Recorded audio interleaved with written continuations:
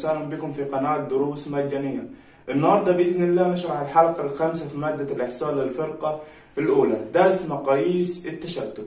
قبل ما أبدأ في الشرح بإذن الله أنا حابب أقول لكم إنه ما تزعلوش مني آه، غصب عني والله إن أنا الفترة اللي فاتت دي تأخرت عليكم جدا جدا جدا وما قدرتش أنزل لكم أي فيديوهات لأنه أنا في سنة تانية زي ما أنتم عارفين أنا داخل على الامتحانات وبرضو زي ما أنتوا ليكم حقوق أنا برضو ليا حقوق وليا واجبات. فسامحوني لو أنا تأخرت عليكم وقصرت منكم. أول حاجة هنسمي بسم الله الرحمن الرحيم. درس مقاييس.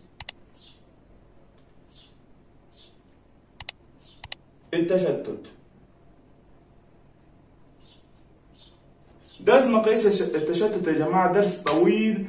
ولكن سهل. طويل جدا ولكن سهل جدا. فانت ركز معايا واكتب أي حاجة اكتبها على السبورة لأنه المعلومات دي مش هتلاقيها ولا في الكتاب ولا في المذكرة. ولكن هتلاقيها في الامتحانات. هتلاقي الأسئلة في الامتحانات وتبدأ تحل بيها على طول.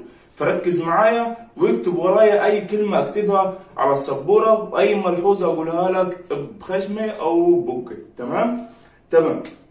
أنواع مقاييس التشتت. أنواع مقاييس. التشتت.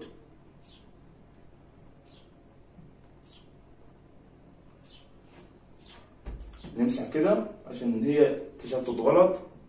التشتت. عندنا أكتر من نوع يا جماعة. زي ما أنتم عارفين عندنا إيه؟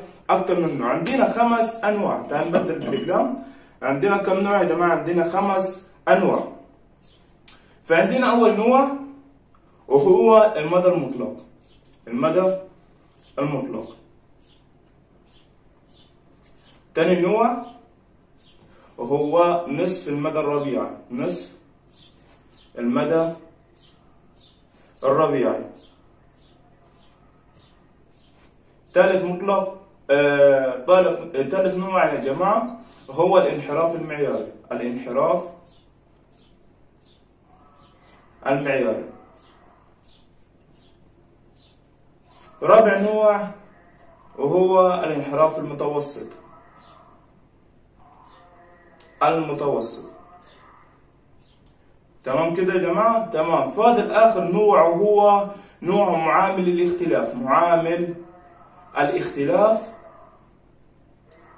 كده يا جماعة معانا بالنسبة المقاييس التشتت معانا كم نوع؟ معانا خمس أنواع. الخمس أنواع يا جماعة أنت شايفهم طوال جدا. لأنه أنت زي ما أنت شايفهم خمسة. في درس واحد معنى إنه الدرس طويل. هو الدرس طويل ولكن سهل إزاي سهل؟ هناخد كل نوع وهناخد على كل نوع مثال بإذن الله وهتشوف إنه الدرس سهل وأكيد إنه هو سهل. تعالوا نرسم السبورة كده ونسيب الأنواع زي ما هم. عندنا أول نوع يا جماعة هو إيه بالظبط؟ اللي هو المدى المطلق. نكتب. اولا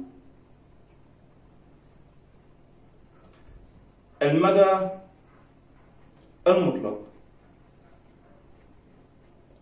بالنسبة للمدى المطلق يا جماعة عندنا آه، بيانات غير مبوبة وبيانات مبوبة. تمام كده؟ تمام. يعني عندنا أول حاجة بالنسبة للمدى المطلق. عندنا المدى المطلق للبيانات المفردة أو غير المبوبة. يبقى نكتب واحد. المدى المطلق للبيانات الغير مبوبة. تمام كده يا جماعة؟ تمام. طب بالنسبة لخطوات الحل المدى المطلق للبيانات غير المبوبة عندنا هو قانون واحد يا جماعة. عندنا إيه قانون واحد. القانون ده بيقول إيه؟ بيقول المدى المدى بيساوي. المدى بيساوي إيه؟ أكبر قيمة أكبر قيمة. ناقص أصغر قيمة. يعني هو ده المدى المطلق أو المدى عامة. المدى المطلق للبيانات غير المبوبة. المدى بيساوي أكبر قيمة ناقص أصغر قيمة. هقول لك أيوه. هو القانون دي ما فيهوش أي اختلاف. ده بالنسبة هي للبيانات غير المبوبة. طب بالنسبة للبيانات المبوبة يا جماعة هنقول اتنين هو المدى المطلق للبيانات المبوبة. البيانات هي المبوبة. برضو للبيانات المبوبة يا جماعة ليها قانون واحد. ليها هي قانون واحد وهو نفس القانون. ولكن المثال هيختلف. البيانات غير المبوبة هيختلف عن هي المبوبة. فهتقول المدى؟ بيساوي أكبر قيمة في الفئة ناقص أصغر قيمة في الفئة في الفئة. بيساوي. كده يا كده يا جماعة خلصنا المدى المطلق. يعني المدى المطلق زي ما أنتم شايفوا ده نوع من الأنواع ولكن هم أربع سطور بالظبط انت هتكتبهم. خمس سطور بالأولا المدى المطلق أولا المدى المطلق للب... واحد المدى المطلق للبيانات غير المبوبه وليها قانون والقانونين شبه بعض. يعني أنت لو حفظت قانون واحد خلاص أنت ارتحت في أول إيه؟ أول نوع. ناخد مثال يا جماعة ناخد مثال. ولكن الأمثلة مش هكتبها على الصب... على السبورة لأنه الدرس طويل ومش عايز أطول في الفيديو جوه. فانا كاتب الأمثلة كلهم في ورقة وبعد كده بعد ما أخلص الفيديو بإذن الله وأنزل الفيديو على القناة التمرينات كلها اللي كاتبهم في الورقة هنزلهم على ال group الخاص بالقناة الخاص بالقناة. لو انت مش عارف ال group الخاص بالقناة هتلاقيه في الوصف تحت الفيديو. عندنا أول تمرين يا جماعة للمدى المطلق للبيانات غير المبوبة. بيقول لك واحد أوجد المدى المدى للبيانات التالية. ومديني أرقام. مديني 34 ومديني 12 ومديني 25 ومديني 17 و39 و22 و16 و8 قلنا يا جماعة بالنسبة ده بالنسبة للمدى المطلق للبيانات غير المبوب. هيودوني بنفس الطريقة ده هيقول لي أوجد المدى. أوجد إيه؟ المدى. القانون بتاعه يا جماعة زي ما أنتم شايفين إن هو إيه؟ المدى بيساوي أكبر قيمة ناقص أصغر قيمة. هدور على أكبر قيمة. هقول المدى بيساوي أكبر قيمة هنا كام؟ 34 و12 و25 و17 و39 و22 و16 و8 يبقى أكبر قيمة اللي هي 39 ناقص أصغر قيمة 34 12 25 17 39 22 16 8 أصغر قيمة اللي هي 8 بيساوي المدى بيساوي كام يا جماعة؟ 39 ناقص 8 هيساوي 31 هيساوي كام؟ 31 ده بالنسبة للبيانات غير المبوبة. طب مثال على البيانات المبوبة. المدى المطلق للبيانات المبوبة. هيدوه في جدول. هيدوه لك إيه؟ في جدول عبارة عن ف وكاف. فئة عارفين الف عارفين الفئة والكاف عارفين التكرار. وهيدي لك أرقام في الف وأرقام في الكاف. أنت هتحل بأكبر قيمة في الفئة واصغر قيمة في الفئة وهديلكم مثال في برضه في الورقة في نفس الورقة اللي هنزلها على الجروب بإذن الله. كده خلصنا يا جماعة أول نوع وهو إيه؟ المدى المطلق. أول نوع هو المدى المطلق. تعالوا نروح للنوع الثاني. هنروح للنوع يا جماعة؟ هنروح للنوع الثاني. ثانيا وهو نصف المدى الربيعي ساعات نصف المدى الربيعي بنطلق عليها ره يا جماعة. بنطلق عليها ره ربيعي يعني بنطلق عليها الاختصار بتاعه ره أول حاجة بالنسبة القانون نصف المدى الربيعي يا جماعة بيقول لك قانون القانون الأساسي يا جماعة اللي هو نصف المدى الربيعي ممكن ما اكتبش القانون يا جماعة اكتب لكم خطوات الحل على طول. تبقوا يعني ما فيش حاجة صعبة خالص. خطوات الحل لكم خطوات الحل بالمرة بدل ما اكتب القانون وبعد كده اكتب خطوات الحل. أول حاجة في خطوات الحل يا جماعة هي تكوين جدول. واحد بالنسبة لخطوات الحل تكوين جدول. طب الجدول ده متكون من إيه بالظبط؟ متكون من حدود عليا للفئات وتكرار متجمع صاعد. ده بالنسبة يا جماعة بالنسبة الأول خطوة وهي تكوين الجدول. اثنين عايزين نجيب ترتيب ره واحد. ترتيب إيه؟ ره واحد. ترتيب ره واحد يا جماعة بيساوي مجموع كاف على أربعة بيساوي مجموع كاف على على أربعة. ثلاثة عايزين نجيب ترتيب ر ثلاثة وهي ترتيب آه الربيع يا جماعة. الربيع ثلاثة ترتيب ر ثلاثة بيساوي يا جماعة. بيساوي مجموع كاف على نفس الرقم أربعة بس في ثلاثة. يعني لا يختلف يا جماعة فيها في ثلاثة. يعني نفس القانون ولكن هيختلف فيها في ثلاثة. الخطوة رقم أربعة وهي نوجد ره ترتيب. نوجد ره بس يا جماعة. نحن جبنا الترتيب عايزين نجيب إيه؟ عايزين نجيب ره بس. يبقى هنجيب ره واحد أو ره ثلاثة. بيساوي ليها قانون معين علشان أجيب ره واحد أو ره ثلاثة يا جماعة ليها قانون. اللي هي قانون. القانون بيقول إيه ألف زائد. وعامل علامة القسمة في لام. لو أنتوا فاكرين القانون ده يا جماعة لو ركزتوا معايا هتلاقيه قانون الوسيط قانونية الوسيط.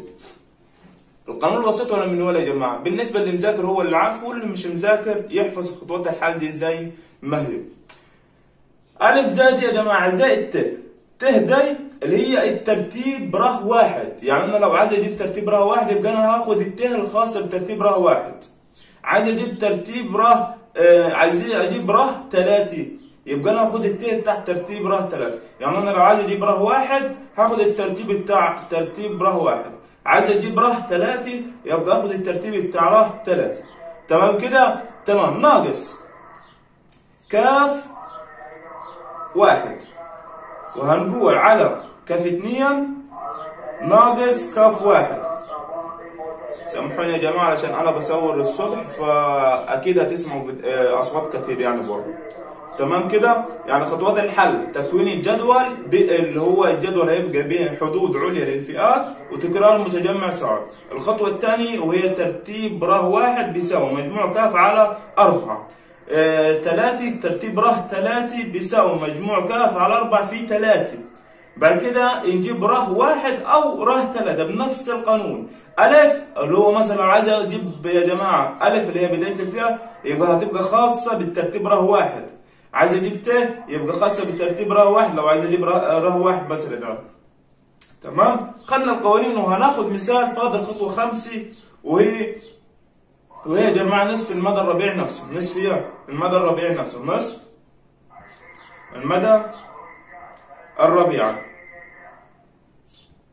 نصف المدى الربيع اللي هي قانون برضه يا جماعة اللي هي قانون. القانون بتاع نصف المدى الربيع اللي هو راه ثلاثة راه هي ثلاثة. ناقص راه واحد على اثنين. يبقى ركزوا معايا يا جماعة لو انت مش شايف القانون اسمع صوتي واكتب نفس نفس القانون. يبقى نصف المدى الربيع بيساوي. ره ثلاثة. ناقص. ره واحد على اثنين. كده خلصنا يا جماعة خطوات الحل. هم خمس خطوات الحل بالنسبة لنصف المدى الربيع. بالنسبة لنصف المدى الربيع.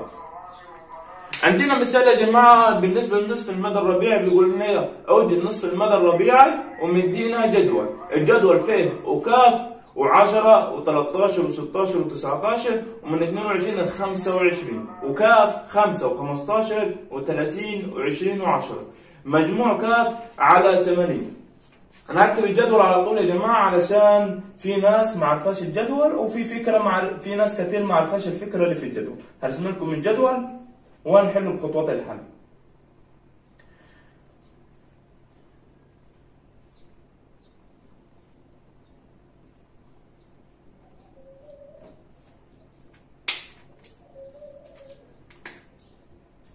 ف وكاف الأرقام هتبقى 10 13 16 19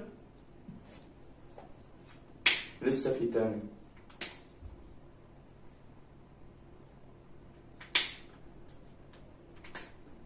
ومن 22 لحد 25 ومدينا مجموع كاف. ده في المثال جدول المثال يا جماعة. 5 15 30 20 10 المجموع بتاعهم كام؟ 8 نبدأ نحل يا جماعة؟ نبدأ نحل. الحل. أول حاجة في خطوات الحل يا جماعة تكوين جدول وهو حدود عليا للفئات حدودية عليا. هنرسم الجدول هنا علشان أبدأ بخطوات الحل هنا. خلاص؟ نرسم الحل هنا. الجدول. ادي الجدول. وادي نرسم الجدول كده حرف التي بالإنجليزي ونرسم نفس خطوات الحل ده بالنسبة للجدول. اللي هو حدود عليا للفئات وتكرار متجمع سعد وانتوا خدتوا الجدول دي. يعني خدتوا الجدول ده في آه، درس الوسيط في درسيه الوسيط. هكتب حدود عليا للفئات. تمام. بعد دي تكرار. ميم متجمع صاد صاعد. هنكتب أقل من. كم رقم هم؟ واحد اثنين ثلاثة أربعة خمسة ستة. يبقى أكتب أقل من. أقل من. أقل من. أقل من. أقل من. دول خمسة أقل من الستة تمام كده يا جماعة؟ تمام. أقل من في الفئة كام؟ أقل من عشرة. دائما يا جماعة أول رقم هيساوي صفر. عشان تركزوا معايا.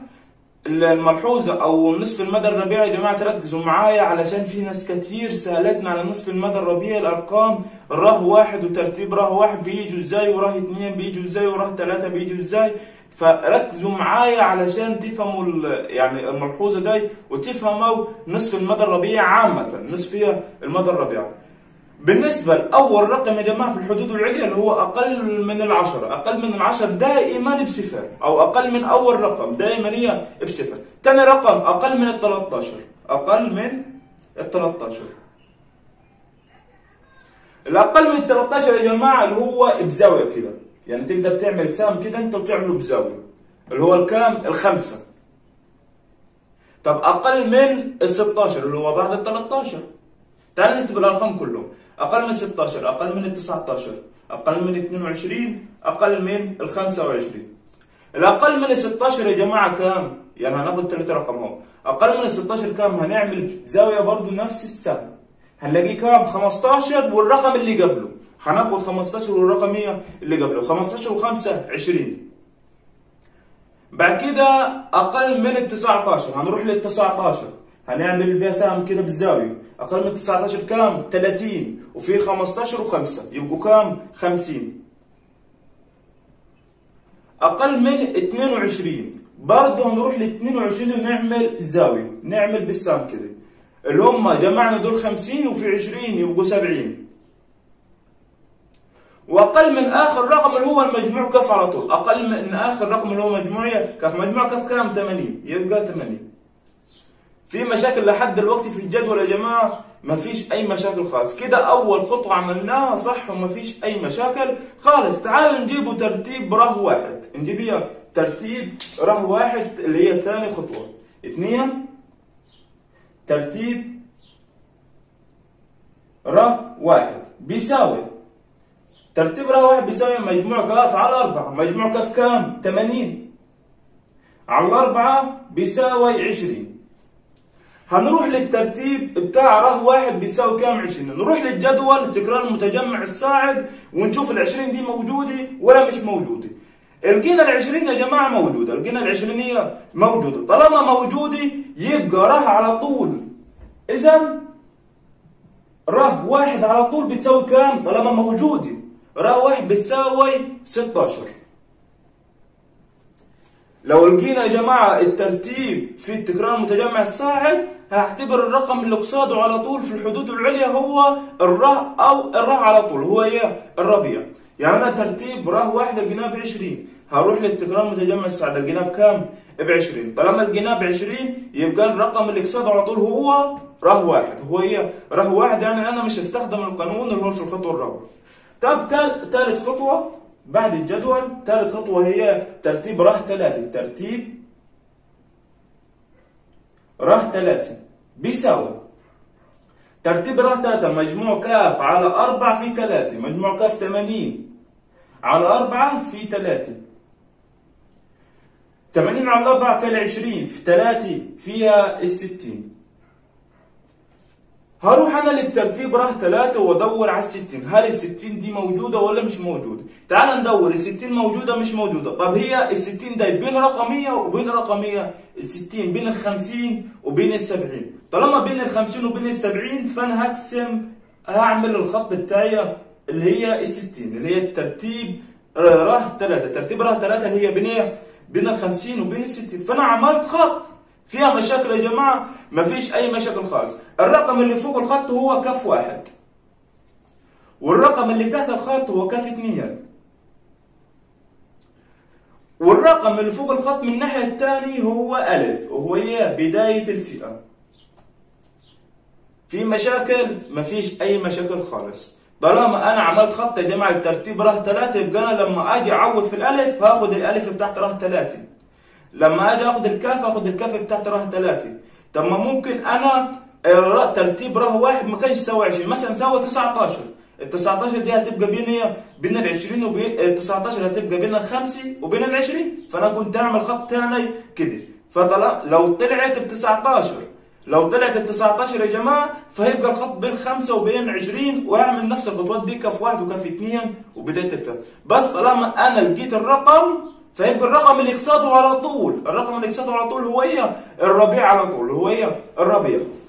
يبقى أنا دلوقتي جبت ترتيب ر ثلاثة يبقى إذا اللي هي الخطوة الرابعة اللي هي الخطوة الرابعة. ر ثلاثة بتساوي. ر ثلاثة هي بتساوي. آه ر ثلاثة بتساوي. ألف اللي هي بداية الفعل. ألف جبناها بكام يا جماعة؟ ب 19 زائد وراح عامل علامة القسمة الترتيب راه ثلاثة اللي هي ت. ت يا جماعة معناها ترتيب. نحن هنجيب راه هي راه ثلاثة. فأنا هاخد ترتيب راه ثلاثة اللي هو كام؟ الستين. ركزوا يا جماعة علشان في ناس كتير سألتنا عن النقطة دي. أنا عن نفسي وقفت عليها. بس أنا فهمت لما هي لما جيت أحضر الحلقة وجيت أذاكر في الحلقة نفسها فهمت الدرس كله من الأول للآخر. نحن علشان نجيب راه ثلاثة بيساوي.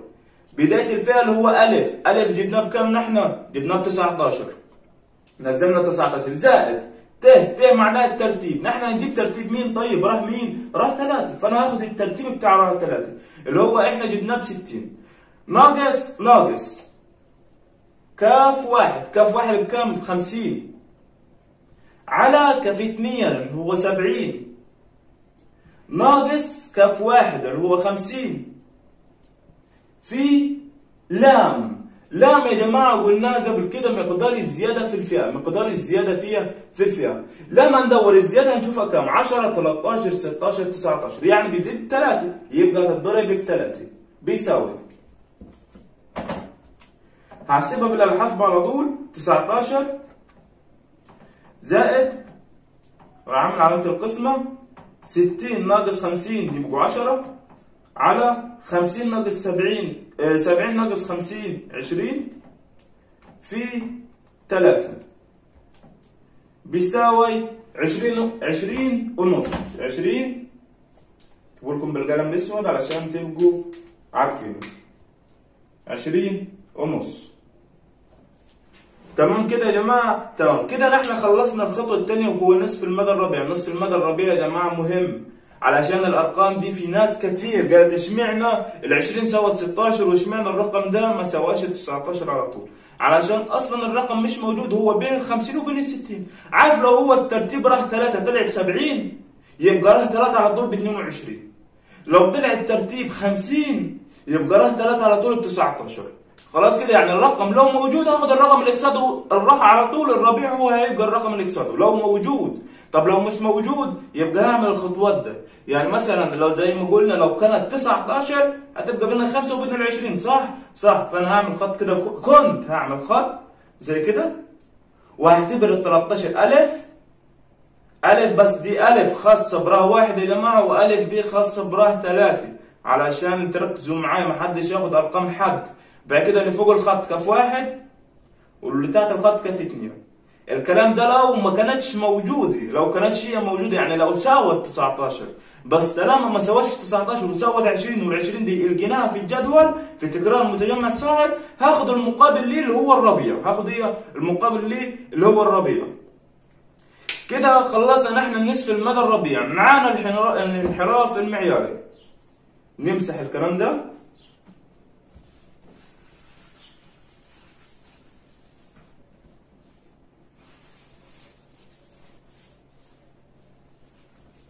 وهمسح الكلام ده يا جماعة علشان يعني هنخلي الجزء ده للشرح والجزء ده للحل. لو ما كتبتش ورايا رجع الفيديو شوية خمس ثواني ولا دقيقة واكتب كل حاجة. بس يا ريت يا جماعة يعني ما حدش ينزل الفيديو لأنك أنت لازم تستفاد وأنا أستفاد. فأنا لو حسيت نفسي إن أنا مش مستفاد يعني أنا علشان أصور حلقة زي كده يعني أول حاجة بتكلف بالنت. تاني حاجة يعني بضيع وقت كبير جدا. يعني أنا سايب مذاكرتي على كده وبصور لكم. فأنا زي ما بتعب أنتوا لازم تتعبوا وما تنزلوش الفيديو. لأنك أنت مش خسران حاجة. دي بتوفر لك مراجعة. بدل ما تروح تاخد مراجعة في الكورسات أو ايا كان بتدفع أول حاجة مبالغ تاني حاجة بتضيع وقت في المواصلات. يعني بتاخد لك 3 4 ساعات مواصلات لو هتدور في المواصلات الرايح الجاي هتضيع لك 4 ساعات. زي إنك أنت مش هتروح تستنى هتلاقي الدكتور موجود. ده أنت هتستنى الدكتور. لما تستناه هتضيع لك برضه نص ساعة أو ساعة بالكثير هيبقوا خمس ساعات. يبقى فلوس ووقت. فأنت الفيديو بيجي لك لحد عندك. المفروض ما تضيعش الفرصة وتسمع الفيديو وما تنزلوش. خلاص كده أنت خد حقك واديني حق علشان أقدر أساعدكم. نحن يا جماعة خلصنا نصف المدى الربيعي يبقى ثالثا وهو الانحراف المعياري الانحراف المعياري. الانحراف المعياري برضه يا جماعة سهل ولكن محتاج تركيز سهل ولكن إيه؟ محتاج تركيز. عندنا أول حاجة في الانحراف المعياري الانحراف المعياري. للبيانات غير المبوبة. للبيانات يا جماعة للبيانات غير المبوبة. خطوات الحل.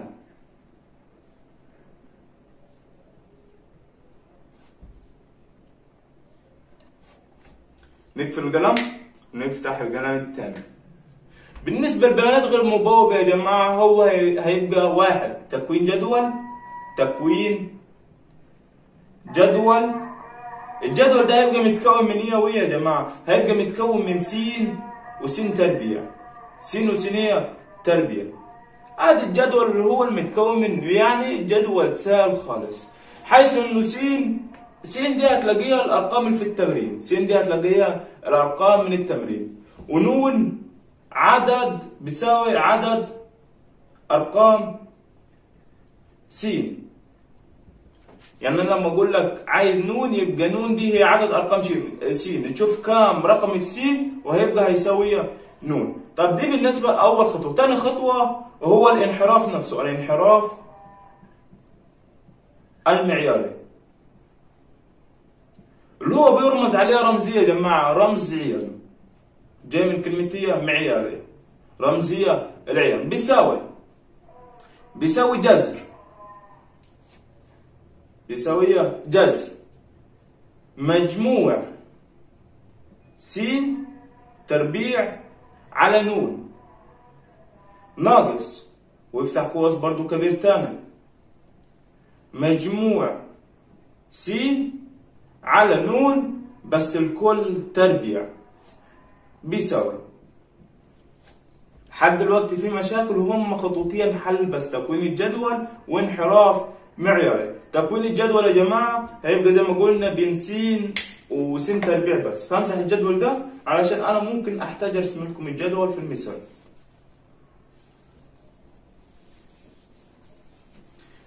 ورقة الأمثلة يا جماعة عشان أذكركم تاني هنزلها على الجروب الخاص بالقناة. قدامنا مثال يا جماعة ما يقول إيه؟ على الانحراف المعياري.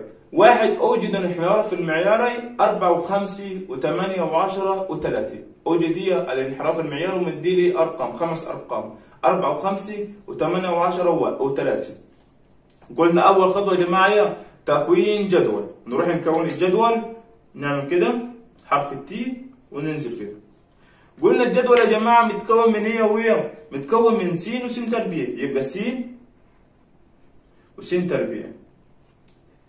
لحد دلوقتي في مشاكل مفيش مشاكل خالص. س دي قلنا الأرقام اللي في التمرين يا جماعة. هنروح للتمرين. هنلاقي الارقام أربعة وخمسة وثمانية وعشرة وثلاثة؟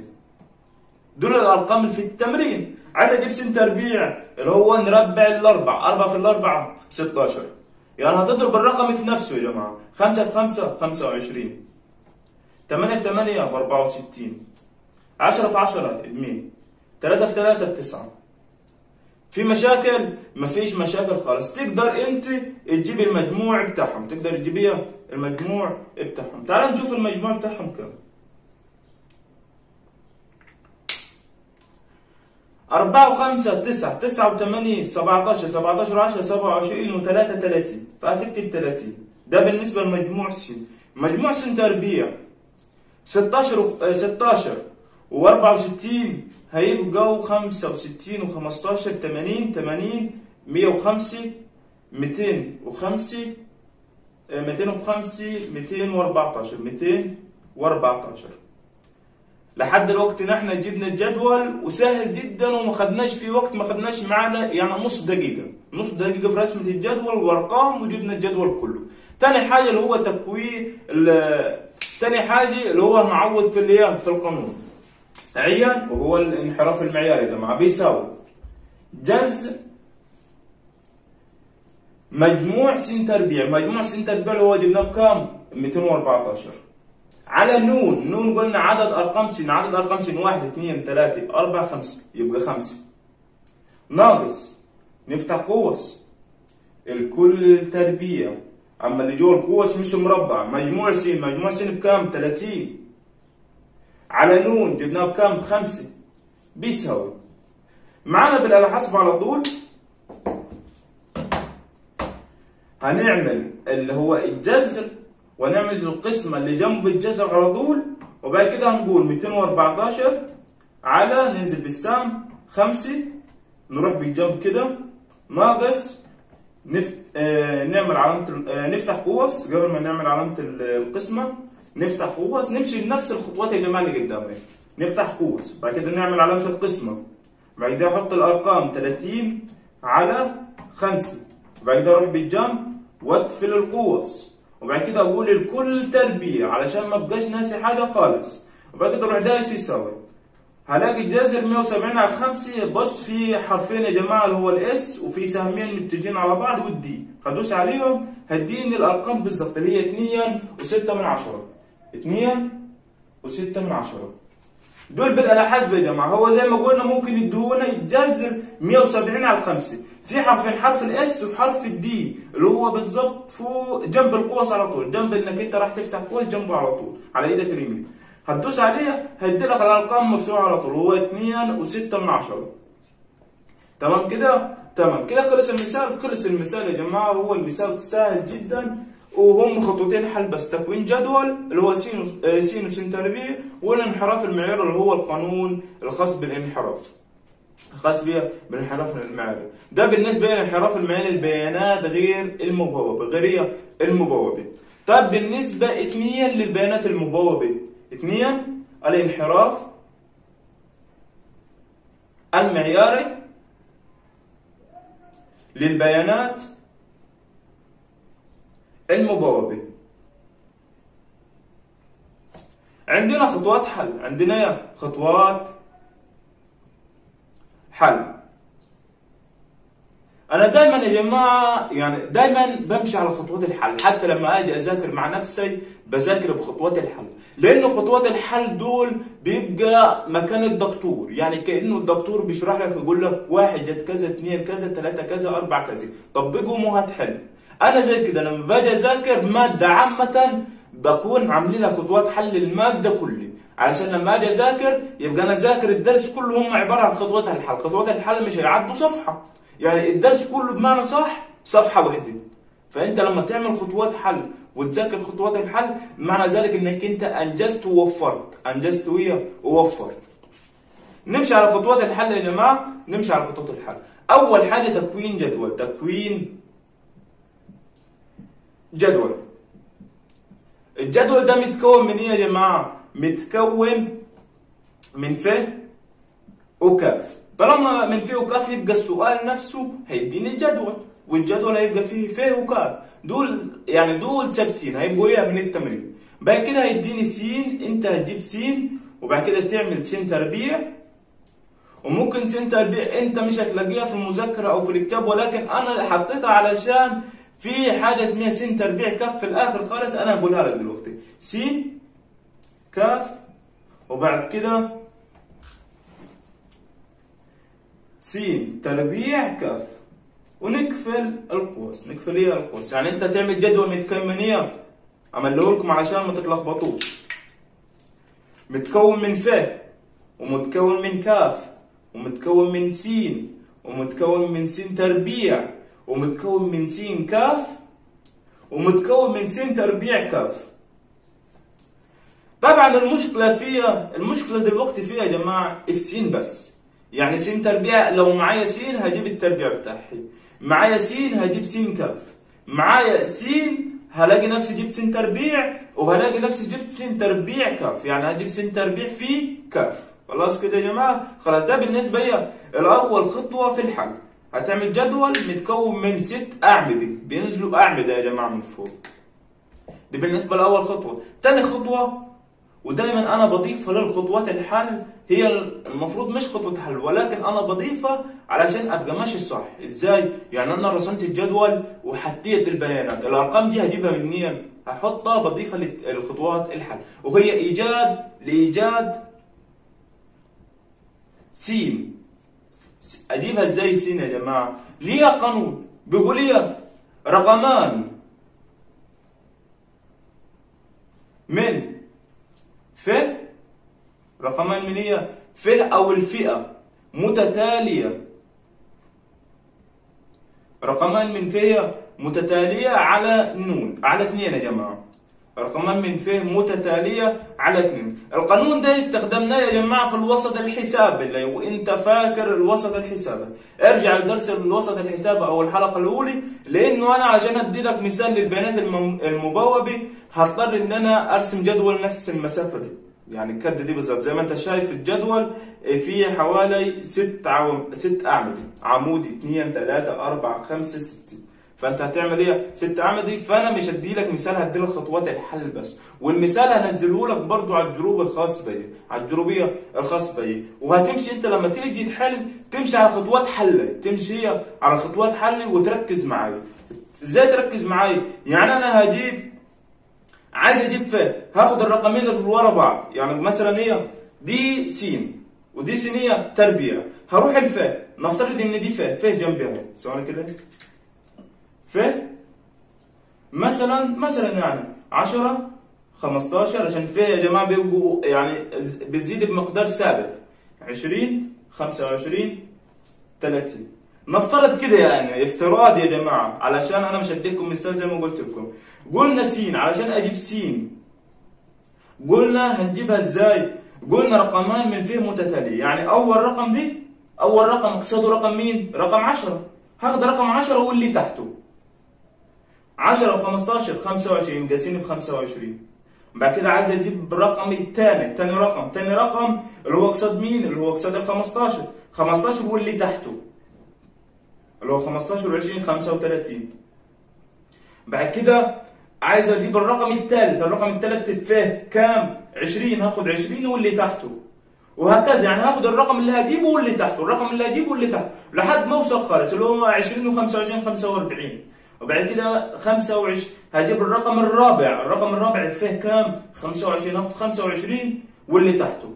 اللي هو 25 و30 يبقى 65 5 55 تمام كده يا جماعة؟ تمام. يعني دي أنا مدي لك مثال عليه إنك أنت تجيب سين إزاي هاخد الرقم والرقم اللي تحته. خلاص؟ الرقم والرقم اللي تحته. الرقم والرقم اللي تحته. لحد ما أوصل لحد الآخر وهتلاقي نفسك جبت سين كله وطالما انت جبت سين على كده هتقول لي سين تربيع اجيبها إزاي؟ لو انت يعني لو مؤاخذة في اللفظ عقليتك صغيرة. أجيب سين إزاي؟ ده هو مش حاططها لي في خطوات الحل.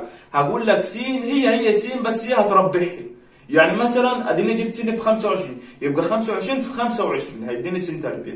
عايز أجيب 35 سين تربيع يبقى 35 في 35 عايز أجيب 45 يبقى 45 في 45 عايز أجيب تربيع ل 55 55 في 55 كده أنا جبت سين وسين تربيع. يبقى أنا أجيب سين كاف. سين كاف معناها سين في كاف.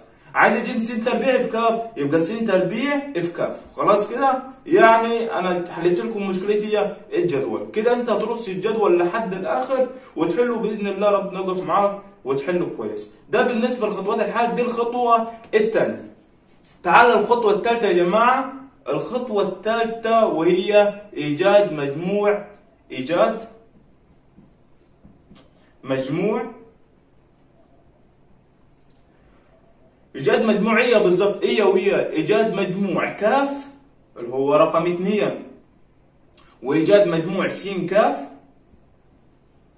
وإيجاد مجموع س تربيع كاف. اقفلوا القوس ليه هجيب المجاميع دي يا جماعة؟ علشان أنا هحتاجها في القانون خلاص؟ علشان هي أنا هحتاج في القانون يعني أنا هحتاج مجموع كاف وهحتاج مجموع س كاف وهحتاج مجموع س تربيع كاف. يعني أنت بعد ما تخلص الجدول تعمل كده وتنزل المجاميع زي ما أنت شايف. يعني شايف إن أنا نزلت المجاميع. مجموع س ومجموع س تربيع. أنت نفس كده. بعد ما تخلص الجدول في الآخر فيها المجاميع. دي بالنسبة للخطوة الثالثه تعالوا نروح للخطوة الرابعة وهي آخر خطوة اللي هو الانحراف المعياري. الانحراف المعياري. الانحراف المعياري بيساوي زي ما قلت لكم يا جماعة هم المفروض خطوتين بس بس انت اكتب الأربع خطوات. لأن انت لو كتبتش غيرهم الخطوتين الأولى والرابعة ممكن يجي لك يوم وتنساهم وتضطر تسمع الفيديو من أول وجديد علشان تعرف السين جبتها إزاي. خلاص؟ فأنت اكتب كل خطوة علشان ده هم أربع خطوات سهلين يعني تكوين جدول وإيجاد سين وإيجاد المجموع والانحراف. يعني سهلين جدا. الانحراف المعياري بيساوي يا جماعة جذر. طب جذر هل نفس القانون ده؟ هقول لك لا البيانات المبوبة وحديه والبيانات غير غير المبوبة لوحديه والبيانات المبوبة لوحديه يعني جذر إيه جذر مجموع س تربيع كاف. سينية تربيع كاف. على مجموع كاف. على مجموعية كاف. ناقص. ويروح فاتح قوس نفس القوس بس هم نفس الخطوات يا جماعة بس الأرقام بس اللي هتختلف يعني بدل مجموع س تربيع بس هتبقى مجموع س تربيع كاف. بدل مجموع س بس هتبقى مجموع مجموع س كاف مجموعية س كاف على مجموع كاف الكل تربيع الكلية تربيع. وبيساوي. وبيساوي. تمام كده؟ يبقى الانحراف المعياري بيساوي.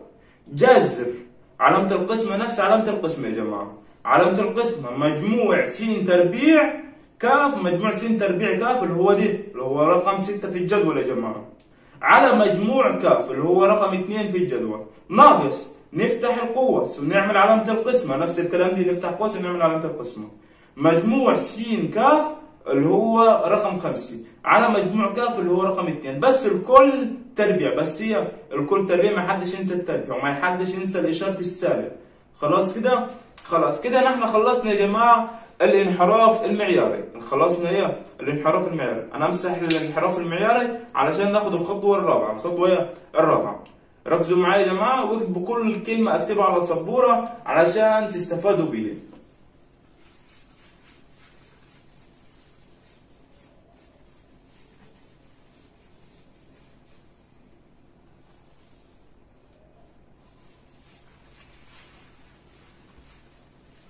درس طويل أنا كنت أشرح على حلقتين بس علشان داخلين على امتحانات أنا اضطريت إن أنا أشرح لكم الدرس كله على حلقة واحدة وفي نفس الوقت هشرح لكم المنهج كله النهارده إن شاء الله.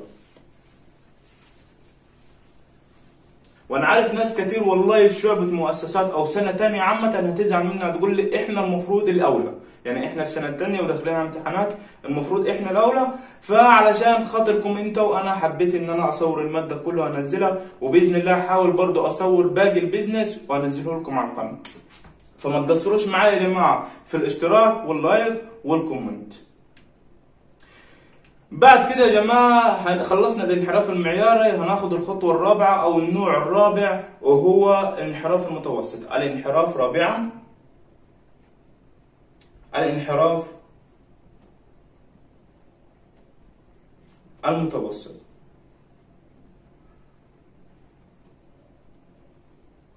الانحراف يا جماعة الانحراف المتوسط. الانحراف المتوسط برضه سهل جدا. هو بيانات مبوبة وبيانات غير مبوبة هنبدأ بالبيانات المبوبة واحد الانحراف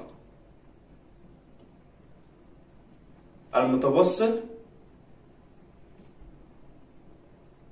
للبيانات المبوبة الانحراف المتوسط للبيانات المبوبة يا جماعة لها خطوات حل خطوات خطوات الحل. عندنا في خطوات الحل يا جماعة عندنا خمس خطوات حل. ولكن لو ركزت معايا مش هتشوفهم خمسة. زي ما أنت شايف إن أنا خطوات الحل بكتبها بكتبها بالتفصيل. يعني بص لو أنا ما شرحتش غير خطوات الحل أنت هتحل أي مثال. خلاص كده؟ هتحل أي مثال عليا على الانحراف المتوسط. فكتبنا خطوات الحل أول خطوة في خطوات الحل يا جماعة وهي تكوين الجدول. تكوين الجدول. الجدول ده بيبقى متكون من إيه ويا يا جماعة. متكون من س ومتكون من المطلق الحد المطلق التين ناقص س شرطة. حد فاكر سن شرطة يا جماعة؟ يا ريت لو الناس مركزة معايا. حد فاكر سن شرطة؟ طب إيه بالظبط اللي يعني بيتبدل مكان سن شرطة؟ أو اختصارية سن شرطة. سن شرطة يا جماعة هي الوسط الحسابي. الوسطية الحسابي. لو انت رجعت لدرس الوسط الحسابي هتلاقيني بقول الوسط الحسابي أو سن شرطة. يبقى سن شرطه هي هي الوسط الحسابي. ده بالنسبة لأول خطوة هي تكوين الجدول. الجدول هيبقى متكون من س والحد المطلق التين ناقص س تربيع س شرطه اللي هي الوسط الحسابي. تاني خطوة لازم أجيب الوسط الحسابي. لازم أجيب هي الوسط الحسابي أو س شرطة. يعني إما عايز تحسبها الوسط الحسابي ماشي. عايز تحسبها س شرطه ماشي. بس أنا علشان المساحة هكتب س شرطه بيساوي س شرطه بيساوي يا جماعة. مجموع س على عددهم. مجموع س على عددهم. اللي هو نون عدد أرقام س مجموع س بتساوي الناتج. بتساوي الناتج. ده بالنسبة لثاني خطوة. ثالث خطوة أنا كده جبت س اللي هي الوسط الحسابي. ومعايا س طب أنا دلوقتي عايز أفك الحد المطلق. عايز أفك الحد المطلق. فبيقول لك لإيجاد الحد المطلق لس ناقص س شرطة. يعني أنا عايز أجيب أرقام الحد المطلق س ناقص س شرطة. أنا مش عارف يا جماعة أنا نسيت اسمه والله الحد المطلق ولا ليه اسم تاني اسمه مطلق. المهم أنا فاكر كلمة مطلق. خلاص كده علشان ما حدش يشغل دماغه وما تشغلش دماغكم يا جماعة بالمنهج الخارجي المنهج بتاعك. أنا أهم حاجة إنك أنت تجيب تقدير وتعدي من السادات فما تركزش في دماغك على أي حاجة تانية. لو عايز أجيب س ناقص س شرطه يا جماعة معناها س من اسمك كده س ناقص س شرطه خلاص كده؟ خلاص يعني س ناقص س شرطه هيديني الرقم الخاص بال اللي هو بين الحد المطلق ده أو ايا كان هي بيساوي الناتج بس في ملحوظة ركزوا معايا فيها الملحوظة دي. إنه الناتج دائما موجب. الناتج يا جماعة؟ دائما موجب. فأنت تركز معايا إنه الناتج دائما موجب. حتى لو سالب يعني حتى لو الناتج طلع سالب في الآلة الحاسبي أنت اكتبه اكتبه موجب. خلاص كده؟ خلاص ده بالنسبة للخطوة الثالثه الخطوة الرابعة. وهي إيجاد مجموع آه الحد المطلق تصير ناقص س شرطه إيجاد مجموع. يا نهار أبيض على الناس اللي بتطلع أصوات دي ويدي الله يسهلنا ويسهلهم بإذن الله. ويفتح لهم باب رزق. ويفتح لنا إحنا باب رزق برضه بنجيب يا جماعة مجموع س ناقص س شرطه يعني مجموع س ناقص س شرطه هنجيبه من نية. من الجدول يا جماعة. يعني بعد ما تخلص الجدول تنزل تحت تكتب المجموع بتاعهم. تكتبيها المجموع بتاعهم. يعني مش صعب خالص يعني خمسة الخطوة الخامسه وهي الانحراف المتوسط. الانحراف المتوسط. الانحراف المتوسط يا جماعة بيساوي مجموع. عشان كده أنا يا جماعة بكتب لكم خطوات الحل بالتفصيل. مجموع س ناقص س شرطة اللي هو إحنا جبناهم من تحت كده بعد ما خلصنا الأرقام منه ومني جبنا المجموع بتاعهم على نون عليا نون. حد عارف نون؟ أيوه عارفينها. اللي هي مين؟ عدد أرقام س عدد أرقام س ده بالنسبة للانحراف المتوسط للبيانات المبغضة.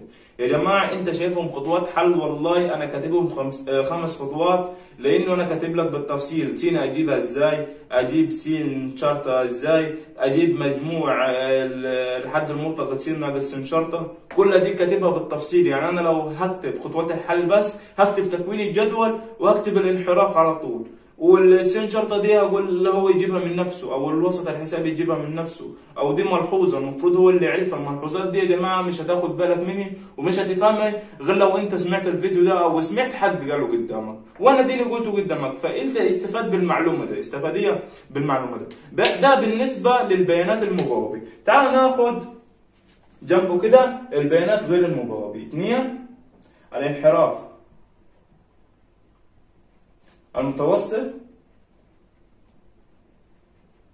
للبيانات المبوبة. البيانات هي المبوبة. برضو الكلام نفس الكلام لها خطوات حل. نفس الكلام اللي هي خطوات حل. خطوات الحل. خطوات الحل يا جماعة متكونة من أربع خطوات حل متكونة من إيه؟ من أربع خطوات حل أول حاجة وهي تكوين الجدول تكوين الجدول بيساوي أو الجدول بيتكون من إيه؟ زي ما أنتم متعودين إن أنا بكتب تكوين جدول وبكتب مكونات الجدول علشان ما حدش يقول لك تكوين جدول طب الجدول ده بيتكون من إيه؟ تكوين الجدول بيتكون من فين؟ ومتكون من كاف. طالما أنت عرفت إنه الجدول ده أو خطوات الحل متكون من ف وكاف اعرف إنه التمرين فيه ف وفيه كاف. فيه ف وفيه كاف. فتركز معايا وهتلاقي كل حاجة سهلة. رجينا تكوين الجدول بين س وس ناقص شرطه اعرف ان هو مش جدول هيديلك الارقام على طول في سطر تمام كده؟ تمام. يعني تكوين الجدول من ف وكاف وسين القلم بجرب يشطب. وسين كاف و سين ناقص شين شرطة في القوس في الحد المطلق. وبعد كده من تحت يا جماعة علشان ما فيش مكان أعمل علامة الفاصلة ده هي واكتب تحت سين ناقص سين شرطة في كاف في كاف. يعني هضرب هضرب إيه يا جماعة هضرب العمود ده في كاف الكاف اللي هو ده. تعال نرقيهم علشان تاخد بالك منهم لأنه ممكن ما تاخدش بالك. أول حاجة عندنا في العمود رقم واحد اللي هو ف رقم اثنين اللي هو كاف. رقم ثلاثة هو س رقم أربعة س كاف يعني ما تضرب س في كاف. رقم خمسة اللي هو العمود دي اللي هو حد المطلق س ناقص الوسط الحسابي. رقم ستة اللي هو هتضرب انت. خمسة في آه كده يا جماعة طلعت لكم فكرة حلوة. س كاف اللي هي س في كاف يعني اتنين في ثلاثة اتنين في ثلاثة خلاص كده؟ طب عايز أجيب دي هقول خمسة في كاف اللي هي اتنين خمسة في اتنين دي فكرة من الفكر اللي أنا طلعت اكتشفتها دلوقتي. علشان زي ما أنتم عارفين أنا عبقري يعني فصلى على النبي عليه الصلاة والسلام. جماعة أنا بهزر ربما الناس تقول آه، ده هو بيقول صلى على النبي علشان إن أنا يعني شايف نفسي. أنا بهزر والله. اتنين هنجيب يا جماعة أول خ... تاني في خطوة الحل زي ما أنتم عارفين أنا تاني خطوة بجيبيها إزاي أجيب سين؟ إزاي إيه أجيب سين؟ علشان أجيب سين يا جماعة وأجيب سين اللي تبع سين ناقص سين شرطة لازم أجيب خطوات الحل بالتفصيل. أجيب إيه؟ خطوات حل بالتفصيل. وهي سين أنا هعرف أجيبها. إزاي أعرف أجيبها؟ ليها قانون ثابت بتاع الوسط اللي هو رقمان من ف على اتنين. رقمان من ف على اتنين إحنا خدناه قبل كده فأنا مش محتاج أكتبه. لو عايزين اكتب بكتبه لكم عادي اكتبه لكم علشان في ناس مش أسمعها هي بتقول لي اكتبوا وما تكتبوش. هم رقمان. من ف متتالية على اتنين وطبعا أنا شرحتها لكم بتيجي إزاي. ده بالنسبة لسين اللي هو رقم ثلاثة. بعد كده بالنسبة ال- هنجيب علشان نجيب الحد المطلق س ناقص س شرطة هنجيب إيه؟ هنجيب س شرطة اللي هو الوسط الحسابي بيساوي. س شرطة بتساوي يا جماعة؟ قلنا ليها قانون تاني غير القانون اللي دلوقتي غير إيه؟ القانون دلوقتي فأنت ركز معايا تركز إيه معايا. القانون ده يا جماعة اللي هي س شرطة اللي هي الوسط الحسابي الجديد بيساوي مجموع س كاف. مجموعية س كاف على مجموع كاف. طب يعني أنا المطلوب مني إيه دلوقتي بالظبط؟ المطلوب مني إن أنا أحفظ القانون اللي هنا خطوات الحل اللي هنا وأحفظ خطوات الحل اللي هنا. عشان دي لوحديها ودي لوحديها يبقى س شرطة. لما جبنا س شرطة هنا كانت مجموع س لأنه ما فيش كاف. وما فيش كاف اخذنا نون. قسمنا مجموع س على نون. طب دلوقتي في كاف. هيبقى مجموع س كاف على مجموع كاف. ده بالنسبة لس شرطة الخطوة الثالثة تعالوا نجيبوا الخطوة الرابعة وهي الحد المطلق اللي هي س ناقص س شرطة. بتيجي إزاي؟ طبعا أنت عارفه اللي هو إحنا جبناه دلوقتي نفس الكلام ده نفس الكلام ده لإيجاد الحد المطلق أو ايا كان المطلق العام أو حاجة زي كده أنا مش فاكرها والله. س ناقص س شرطة. اقفل القوس أو اقفل اعمل عمود. بيساوي. عايز أجيب س ناقص س شرطة من نفسها كده. س ناقص س شرطة. بيساوي.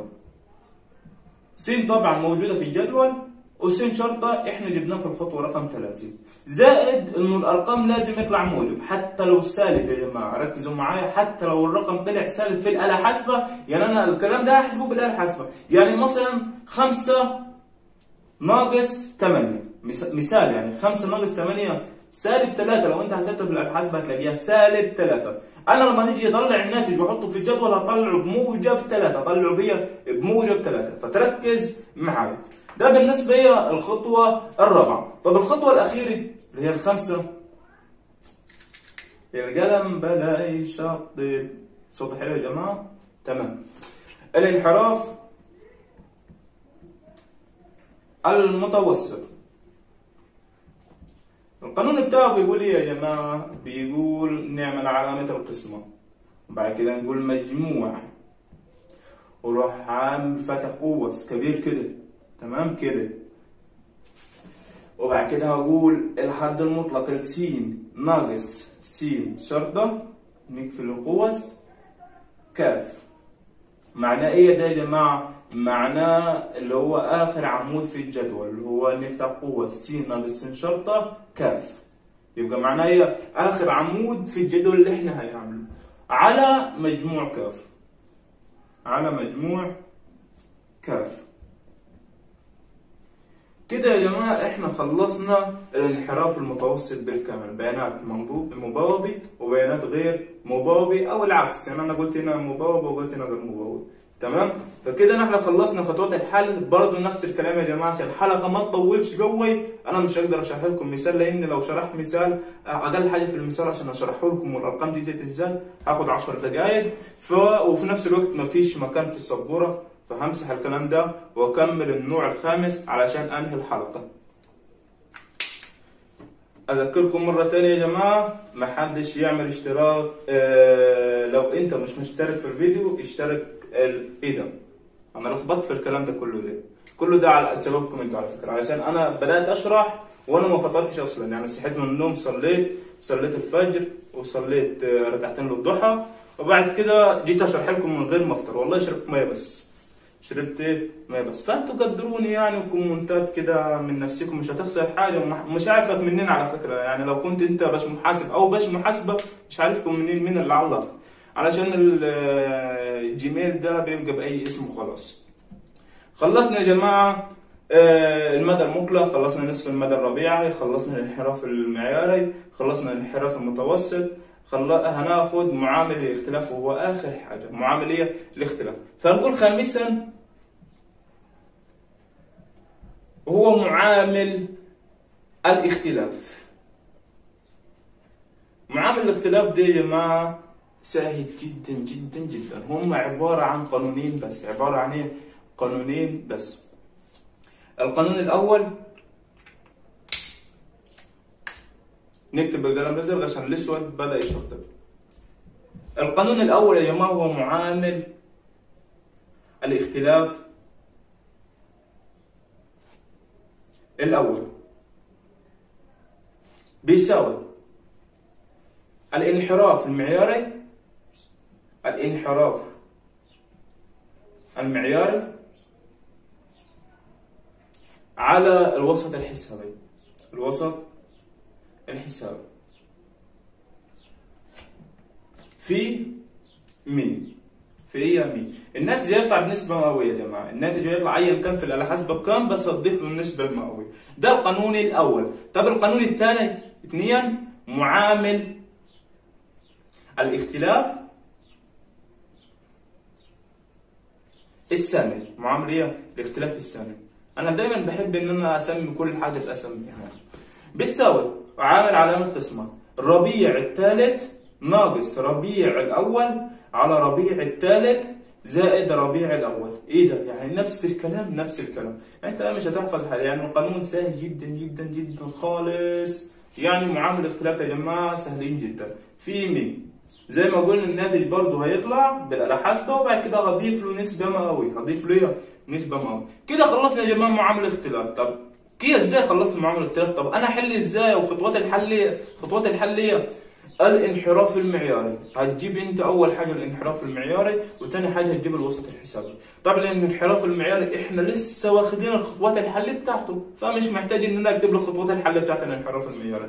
بالنسبة للوسط الحسابي إحنا خدناه في الحلقة الأولى. حتى لو أنا ما خدتوش في الحلقة اللي دلوقتي أكيد أنت 100% أنت مذاكره وعارف الوسط الحسابي فأنت هتجيب تاني خطوة الوسط الحسابي وبعد كده هتعوض في القانون. برضه نفس الكلام في القانون الثاني القانون الأول لو ذكر لك في المثال الانحراف المعياري والوسط الحسابي هتحل بالقانون الأول. طب لو ذكر لك في المثال الربيع لو. لو ذكر لك نصف المدى الربيعي اللي هو برضه تاني النوع اللي إحنا خدناه في مقاييس التشتت.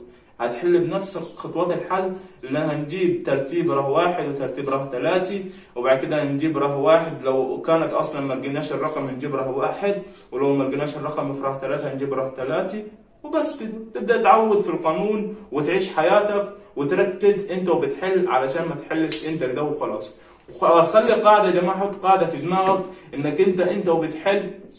ما تركزش مع حد. لأن أنت وبتحل لو ركزت مع اللي جنبك هتحس نفسك إنك أنت حلك غلط. حتى لو حلك صح هتشوف اللي جنبك زي كده حلك أنت اللي غلط. فركز في خطوات حلك. أهم حاجة خطوات الحل يا جماعة. والله حتى لو الناتج طلع غلط وأنت كتبت خطوات الحل بالترتيب صح والله لا يدي لك درجة وينقصك درجة بسيطة. يعني لو 20 درجة هيدي لك 15 يبقى خسرت خمسة بس. ده الكلام ده لو كان الأرقام كلها غلط وأنت ماشي على خطوات الحل صح. طب انت لو مش عارف خطوات الحل ولا الأرقام هتاخد صفر طبعا تمام؟ أتمنى من الله عز وجل أن يوفقكم جميعا. مش هذكركم تاني لو مش مشترك في القناة اشترك في القناة وفعل الجرس. ولايك جميل للفيديو علشان نشوف كم واحد في سنة أولى بيتابع معايا كم واحد شاف الفيديو كم واحد هي شاف الفيديو. فركزوا معايا واسمع الفيديو لحد الآخر. ولايك للفيديو علشان أعرف كم واحد زي ما قلنا داس لايك للفيديو. والسلام عليكم ورحمة الله وبركاته.